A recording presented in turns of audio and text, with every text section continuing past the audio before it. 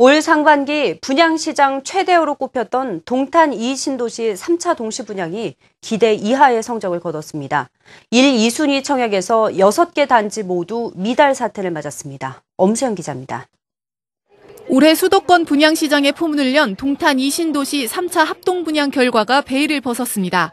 1, 2순위 청약 접수 결과 평균 경쟁률 0.37대 1, 기대 이하의 참패입니다.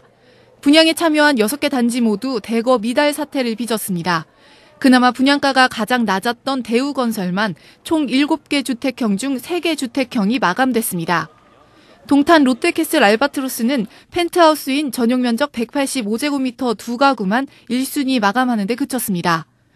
특히 분양가가 높다고 지적됐던 신한과 이지건설은 0.1대 1의 경쟁률에도 미치지 못했습니다.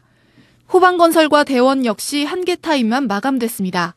견본주택 방문객만 4만 명이 넘었다는 점을 감안하면 예상 밖의 결과입니다. 전문가들은 새 정부가 출범했는데도 정책 불확실성이 수요자의 매수 심리에 악영향을 미쳤다고 분석합니다. 현실적으로 시장에 대한 그런 불확실성이 아직 가시지 않고 있는 상태이기 때문에 관망세가 두드러진 그런 상태의 결과로 볼 수가 있고요.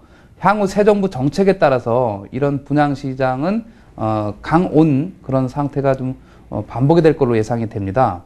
지난해 1, 2차 합동 분양 결과에 크게 못 미치는 성적표를 받아진 동탄 이신도시.